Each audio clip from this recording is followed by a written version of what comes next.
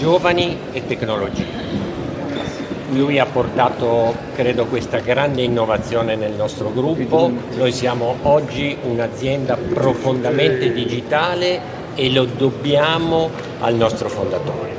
E questo è il modo migliore per ricordarlo, celebrarlo e seguire la sua indicazione e la sua linea guida. Grazie. Si è scritto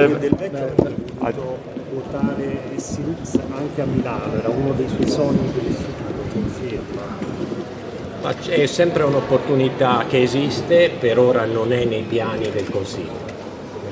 Dai che andiamo. Grazie a tutti.